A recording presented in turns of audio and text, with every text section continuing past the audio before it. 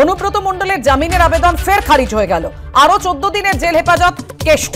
জেলে গিয়ে জেরা করতে চেয়ে আদালতে আবেদন জানায় ইডি। আবেদন মঞ্জুর সতেরোই নভেম্বর অনুব্রতকে জেরা করতে জেলে যাবে ইডির টিম। এ বিষয় নিয়ে আমরা কথা বলব। আমাদের সঙ্গে রয়েছেন আমাদের প্রতিনিধি প্রকাশ সিনহা। প্রকাশ। দেখো, আমরা দেখলাম আজকে ইডির তরফে কিন্তু আবেদন জানানো হয় যে তারা জেলে গিয়ে অনুব্রত মন্ডলকে জেরা করতে চান। এবং তার বক্তব্যে যে পিটিশন আজকে ইডির তরফে ফাইল করা হয়। সেখানে কিন্তু তারা বলেন যে অনুব্রতর কন্যা সুকন্যা মন্ডল তার দেহরক্ষী সাইকেল হোসেন এবং চার্টার্ড অ্যাকাউন্টেন্ট মানিশ কোঠারি, তাদের জিজ্ঞাসাবাদ করে একাধিক বয়ান তারা পেয়েছেন এবং সেই বয়ানকে সামনে রেখেই তারা কিন্তু আগামী দিনে অনুব্রত মন্ডলকে জেরা করতে চান।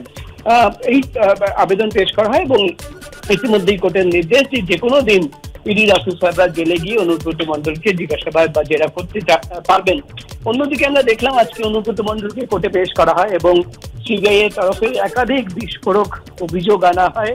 সিবিআই এর আইনজীবী তরফে সওয়াল করা হয় যে তিনি কতটা প্রভাবশালী। বোঝাই যাচ্ছে যে বীরভূম জেলায় রাজ্যের একজন মন্ত্রী গিয়ে বলছেন যে অনুব্রত মন্ডল বাঘ তাকে খাঁচায় আটকে রাখা হয়েছে। কতদিন আজকে রাখবে?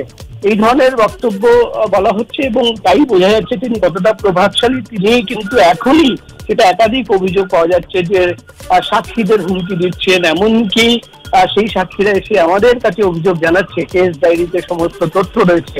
অপরদিকে সিবিআই আইনজীবী তরফে বলা হয় যে প্রায় পনেরো কোটি টাকা বিভিন্ন ব্যাংক অ্যাকাউন্টে জমা পড়েছে এবং যাদের অ্যাকাউন্টে জমা পড়েছে তারা কিন্তু এসে বয়ান দিয়ে যাচ্ছে যে, অনুব্রত মণ্ডল বলেছিলেন তাই সেই টাকা সেই অ্যাকাউন্টে নগদ টাকা জমা পড়েছে।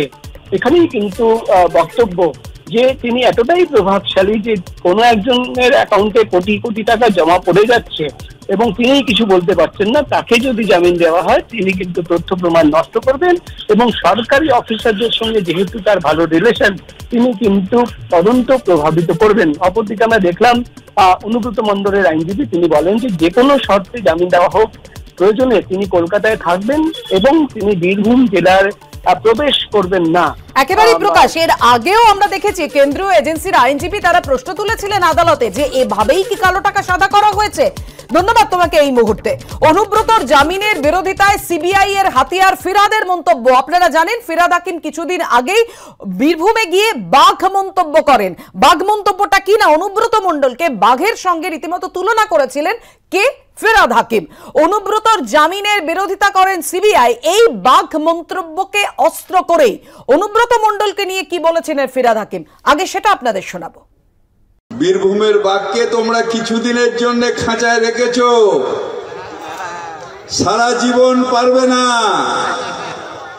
সেই বাঘ যখন আবার বেরিয়ে আসবে, এই আজকে যে শিয়ালগুলো হুক্কা হুয়া হুক্কা হুয়া হুক্কা হুয়া করছে, তারা সব আবার খাঁচায় ঢুকে যাবে।